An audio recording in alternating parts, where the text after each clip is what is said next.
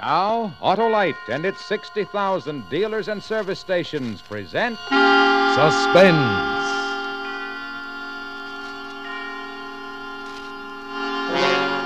Tonight, Autolite brings you Ronald Colman in Noose of Coincidence, a suspense play produced and directed by Anton M. Leader.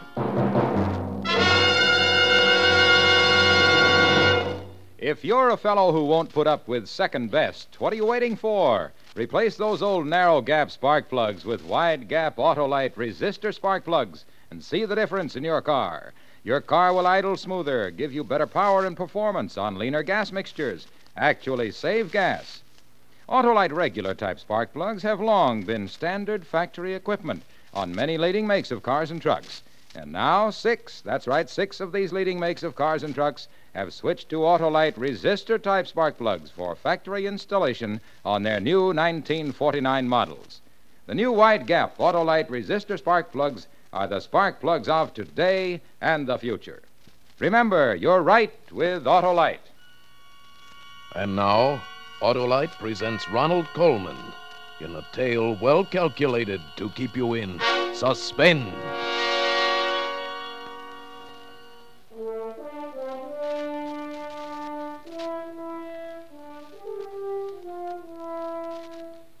You know London?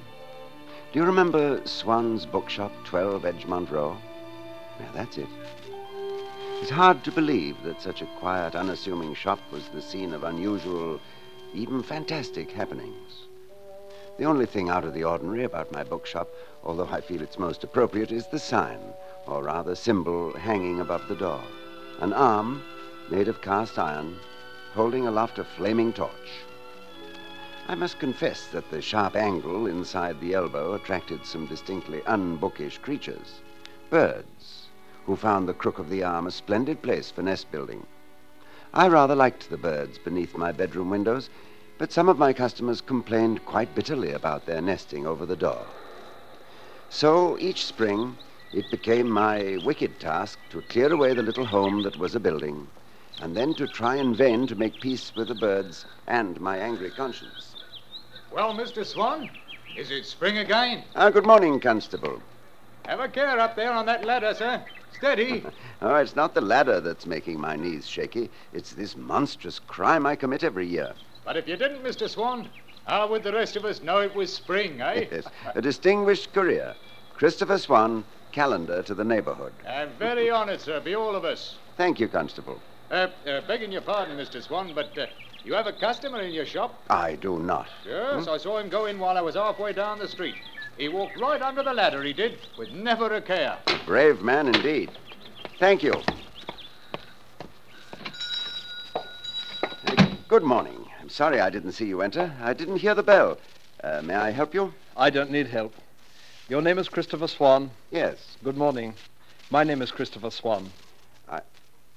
Oh, forgive me. I, I didn't quite hear. Yeah, but you did. Christopher Swan, sir. Your name, my name. Well, how odd. Why? People must have names. More people than names, therefore duplication. Bound to happen. my card. Oh, thank you. Yeah, sure enough. Christopher Swan, mental telepathist. Telepathist and prophet of the future. No. Well, nevertheless, it is very odd. Well, perhaps it is. In that case, you must save my card and show it to Margaret.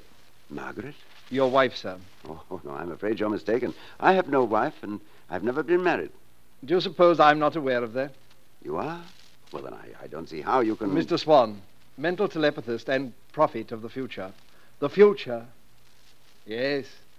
Margaret, a young woman, pretty too, red hair. Oh, now, really.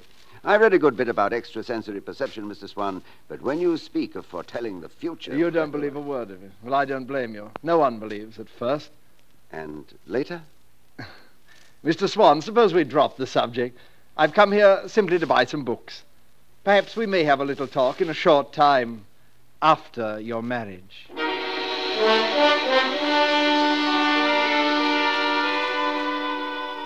Now, if a thing like that happened to you, you'd probably laugh at it as I did.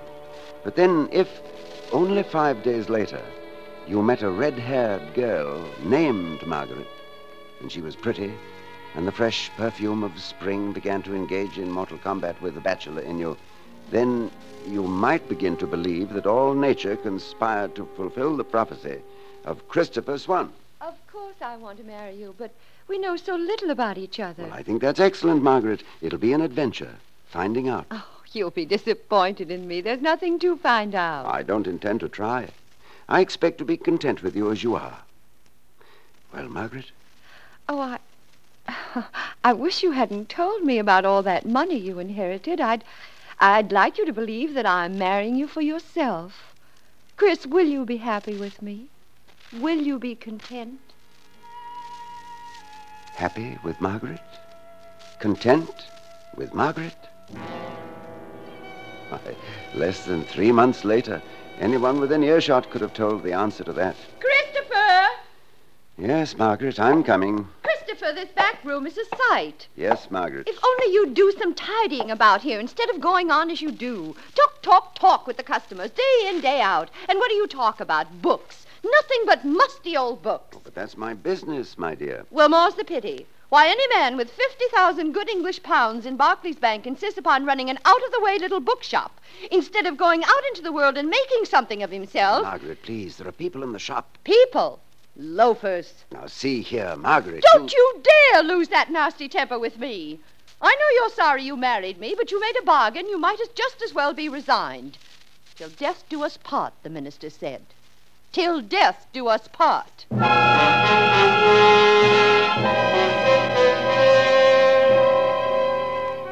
One day I went up to Hampstead Heath for the fair. Oh, not so much to see the fair as to get away from Margaret. I watched the children on the carousels, and the Pearlies from Lambeth Road, and the girls in white smocks selling jellied apples. And then, suddenly, there he was, again. Well, sink me. It's my friend, the doubter. How do you do, Mr. Swan? Quite well, thank you. Uh, my question, Mr. Swan, was purely rhetorical. I'm thoroughly aware that you are not doing well at all. Wrong again, Mr. Swan. Now, how can you say again? You did marry a red haired woman named Margaret, didn't you? You really believe in your powers. Candidly, I don't. The only thing thus far proven is that there are remarkable coincidences. My dear Mr. Swan, how the thing happened is quite unimportant. All we must remember is my prediction that it would happen. I didn't say how. Could you have done that too? Uh, With a little more concentration, why not? For instance, let me tell you about your wife. Your wife, Mr. Swan, is a shrew and will become more of a shrew each day. Now, please, I don't think I care to hear about No, don't go, Mr. Swan. Please, not while I'm concentrating. Now, let me see. Christopher Swan, born one day, I can't quite make that out, in March 1908. Birthplace, the Manor House, Lower Orchard, Bellingdon near Chesham, Bucks. 1940, removed to London, acquire bookshop. Father and mother killed in Blitz. It's a pity, Mr. Swan. You, however, inherit 50,000 pounds, right? Yes, every bit of it. But um, would it be impertinent to point out that you had access to this information in several publications? Not one bit impertinent, Mr. Swan. But tell me, in which publication could I have learned that on the 9th of November this year you will be hanged by the neck until dead? I I. beg your pardon? and don't look so taken aback, my friend. The gift of prophecy, nothing more. Ability to foresee the future. You, you, charlatan. Do you seriously expect me to believe That you'll be hanged. Of course, I don't expect you to believe it, Mr. Swan, any more than you believed my first prophecy about your marriage. But you will be hanged, Mr. Swan. Pity, really a pity. On the morning of November 9th, hanged by the neck until you are dead.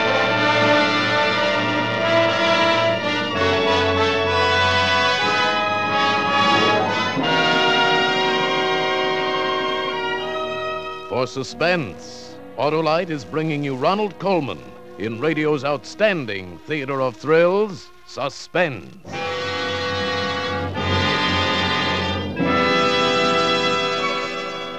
there, Harlow. Heard you played Truth or Consequences at a big Hollywood party. Sure. They asked me to tell the truth, and naturally I did.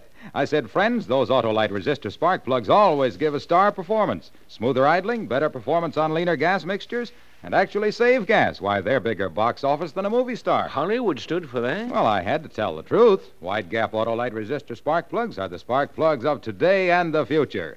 Yep, I said, more men go for Autolite resistor spark plugs than for glamorous movie stars. So switch from old narrow gap plugs Yeah, to. they must have loved you. There I was, telling the truth, and I had to take the consequences, too. Oh, you did? Yeah, they threw me into the swimming pool. well, it's Duck Harlow. Suspense is on. And now, Autolite brings back to our Hollywood soundstage Ronald Colman as Christopher Swan in Noose of Coincidence. A tale well calculated to keep you in suspense.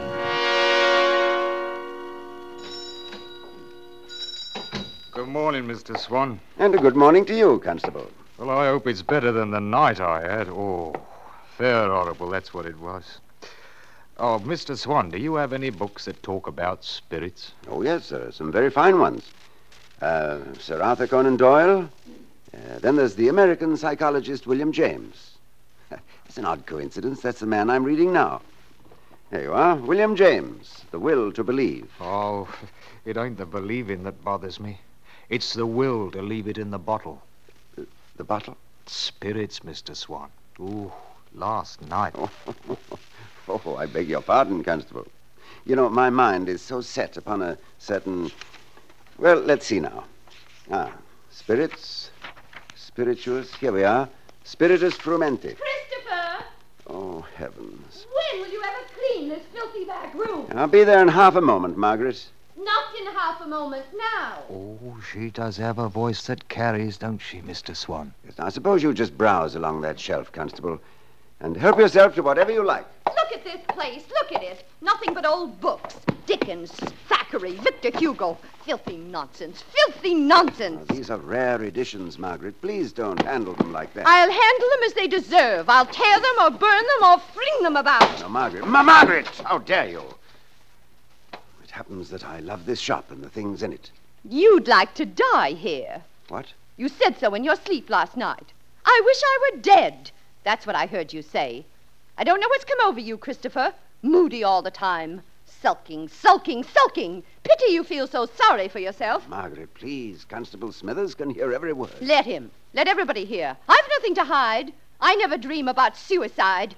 I made a mistake when I married you, but I'm trying to make the best of it. Pity you can't do the same. Pity you feel there's only one way out. Yes, a pity. Pity. Pity. Quiet was gone. The gentle, thoughtful quiet. A bookshop should be a peaceful place. I didn't remember dreaming about suicide, but I suppose I had such dreams. A man wants peace, even if it's only the peace of the grave. Oh, good morning. Good morning. I wonder if you have St. Mawr by D.H. Lawrence, I believe published by Heinemann. Yes, Heinemann does publish Lawrence, but I'm afraid we don't have. Uh, if you'll just step over here. There's been quite a demand for Lawrence lately, and with books in short supply. I know. Uh, let me see. St. Mawr, St. Mawr, St. There's one copy of Sons and Lovers, one Gypsy. Uh, no, no, I'm afraid we're out. May I order it for you? No, I really prefer to look for it. It's a good excuse to go tramping about, prowling through bookshops. Do you like bookshops? Oh, yes. Well, I'm glad. Why? Oh, nothing. I simply am glad. I, uh, I'm sorry not to have had your book. I'll find it. Thank you so much. Uh, you, you might try the, the Ken bookshop near Victoria Station. Thank you, I will. Oh, another idea. Uh, suppose you leave your name and telephone number, and then I'd be able to ring you up if you should happen to come in. Oh, would you be good enough to do that? My name is Anne Stevens. Mrs. Anne Stevens? No, Miss Anne Stevens. Bayswater 3210. Christopher! Miss Ann Stevens had red hair, too.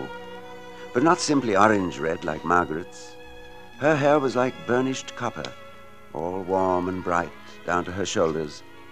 And when she walked in the sunlight, it seemed to be splashed with gold. And I thought to myself, it's probably fragrant and soft to touch. It was only a few days later I met her again in crowded Hyde Park. Oh, oh I, I'm sorry. I. Why, Miss Stevens. I am sorry. Well, no, I'm not, really. I mean, I. Hello. Did I hurt you? Of course not. It's Mr. Swan, isn't it? Yes. You've a remarkable memory for faces. No more than you. You remembered me. Oh, but that's different. I've thought about you. Did you? How nice. Um, trying to find a copy of St. Mawr. You know. You remember that that's what you wanted. Oh, I'm so sorry. I did find a copy that same day at the Ken bookshop, thanks to your advice. Oh, It's a lovely work. I haven't read it. Really? Oh, Mr. Swan, let me give it to you. That is so you could read it. I'll bring it to your shop. Uh, suppose you bring it to me here. Right here to this very spot. Good. Tomorrow, same time. Tomorrow, same time. And I'll bring something I want you to read.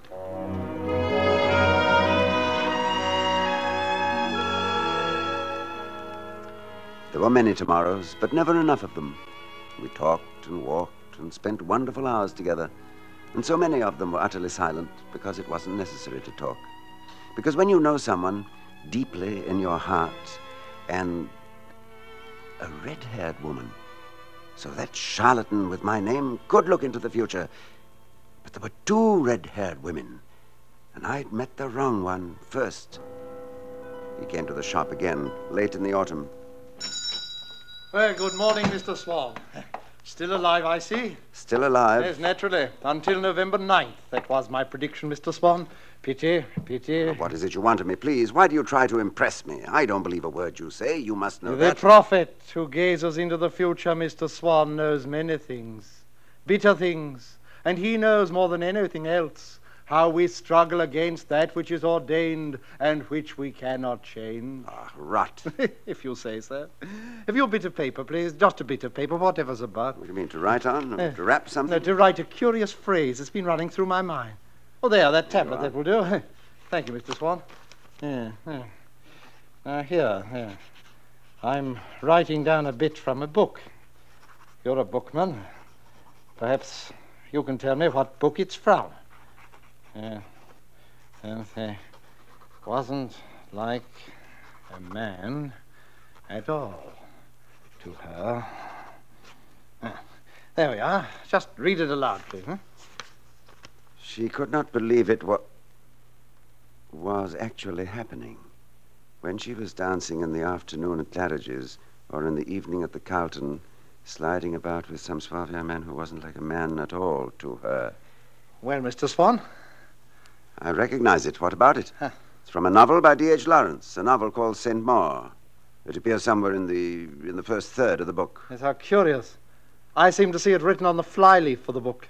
Hey, hey, said, wait, now I seem to see something beneath it. Oh, this is absurd. In the same feminine hand, a delightful hand, the words, You see, I love you, Anne.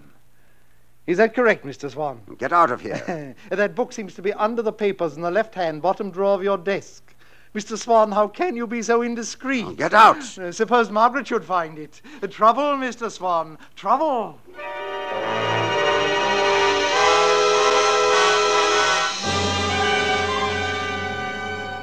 What did this mean?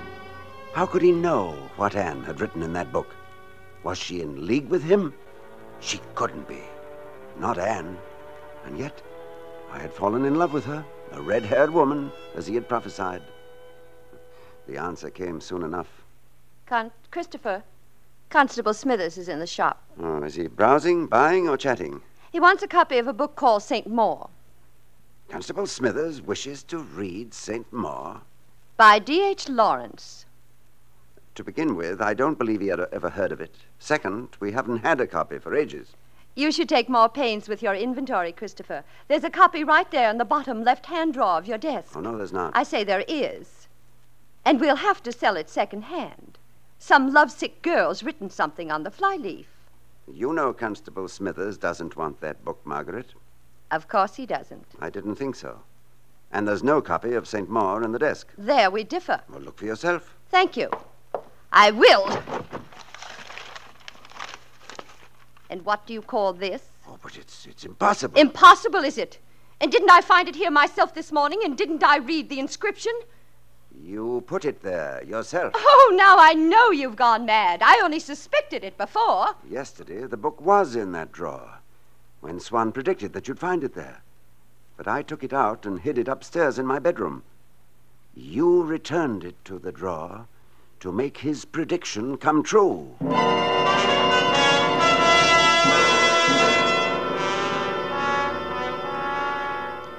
I didn't sleep well that night. It was the night of November the 8th. Many things had become clear. Margaret knew this fellow Swan, had known him before I met her. Between them, they had arranged his prophecies, the marriage, then the business of the book. This duplicity, this plot against me, was relieved only by one thing. Anne was not in league with Swan, and she did love me.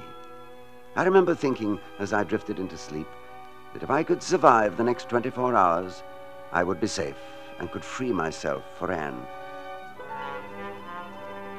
When I awoke, I found my hands tied to a bedpost with a silk scarf, and Margaret standing at the window that's above the entrance to the shop.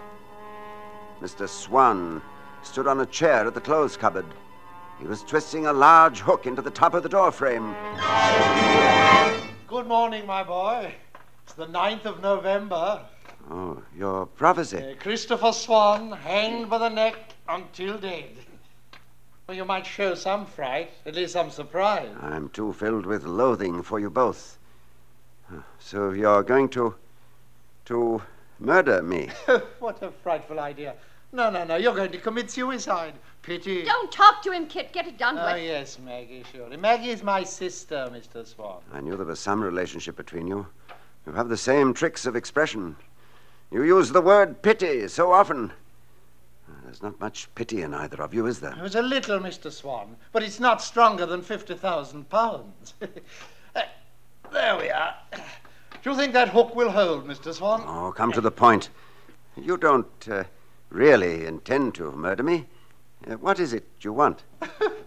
Maggie, he thinks we're only pretending. Hurry, will you? It's almost time. Oh, poor Maggie. I hope her share of your fortune will console her. Will it console you, Maggie? Oh, shut up. Maggie's having a touch of nerves. Isn't that silly, Mr. Swan? There's no danger to us in this. So many of your customers have heard you threaten to commit suicide. I doubt if one ever did. Oh, they think they did, Mr. Swan. That's all that matters. Do you realize how many times Maggie has shouted that information from the back of the shop?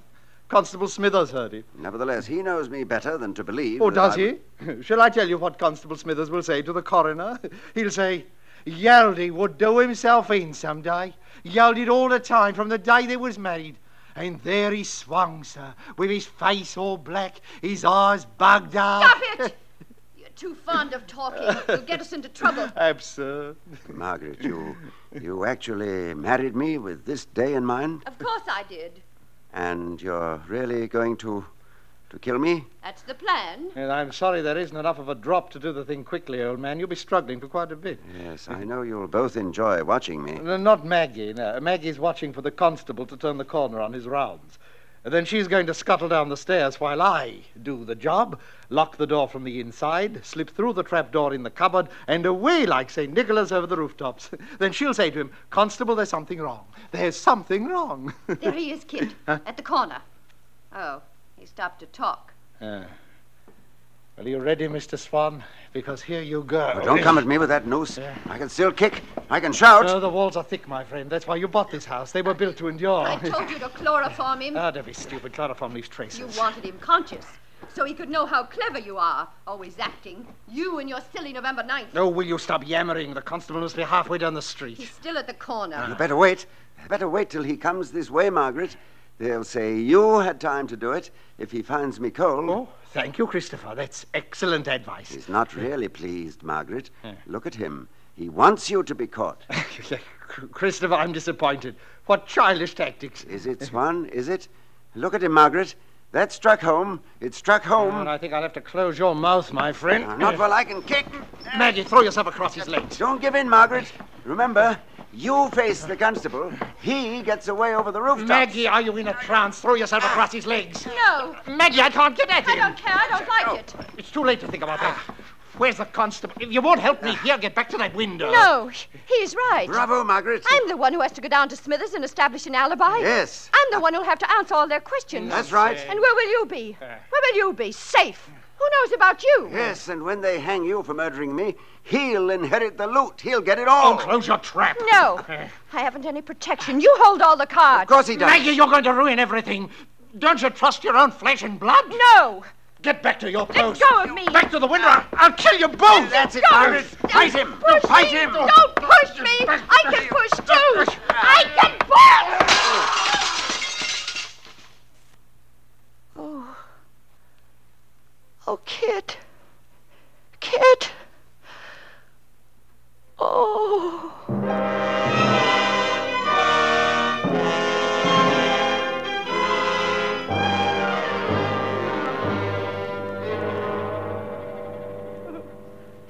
It's queer goings on, sir. You being bound to the bed like this, and him breaking through the window and then hanging from the sign. You'll have to answer some questions, Mrs. Swan. Hanging from the sign. I killed him. I killed him. Yes, and I saw it happen. Saw him smash through the window and come tumbling down and catch his Adam's apple right in the very crook of the elbow, where the sparrows build a nest every spring. Right in the very crook. And there he swung, caught fast, Mr. Swan. Ah, it was horrible, sir. His face black and his eyes bugged out. Stop it. Oh, stop it. Another prophecy come true. What's that, Mr. Swan? I think he could foretell the future. I believe he could. November the 9th. Christopher Swan hanged by the neck until dead. Only he had the wrong Christopher Swan.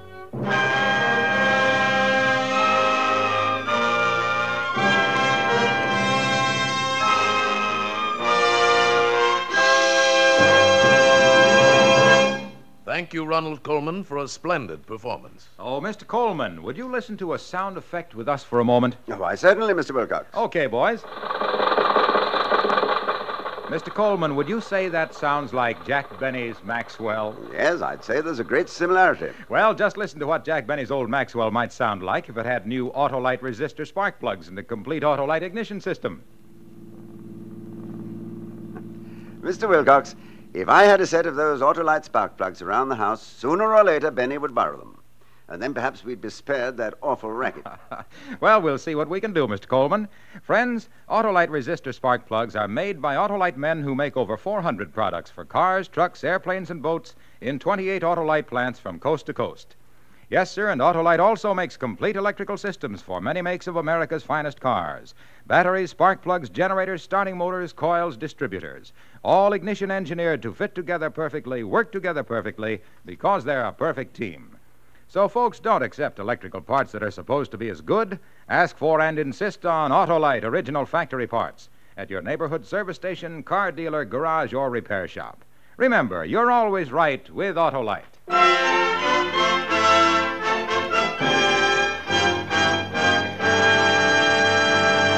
Now, here again is Mr. Ronald Colman. It's always an interesting and pleasant experience to appear on Suspense, and especially when I can work with such a fine company of actors. Next week, we're all in for a special treat when radio's outstanding theater of thrills presents Edmund Gwenn in a story called Murder in Black and White. Another gripping study in. Suspense. Tonight's play was written by William Fifield and adapted for suspense by Herb Meadow. Music was composed by Lucien Moraweck and conducted by Lud Gluskin. The entire production was under the direction of Anton M. Leader.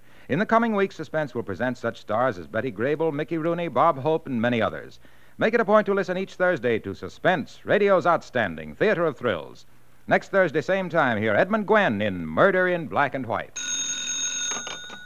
You can buy Autolite resistor spark plugs, Autolite stay full batteries, Autolite electrical parts at your neighborhood Autolite dealers. Switch to Autolite. Good night. Here's great news. Suspense on television may be seen in many parts of the country every Tuesday night. This is CBS, the Columbia Broadcasting System.